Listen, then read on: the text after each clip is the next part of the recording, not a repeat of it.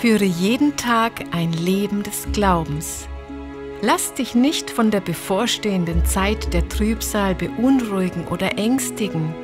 Das wäre eine verfrühte Zeit der Trübsal.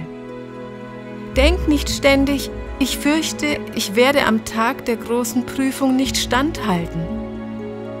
Deine Aufgabe ist, im Jetzt zu leben, einfach für den heutigen Tag. Das Morgen gehört nicht dir.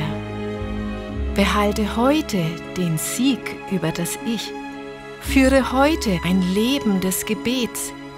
Glaube heute, dass Gott dich segnet.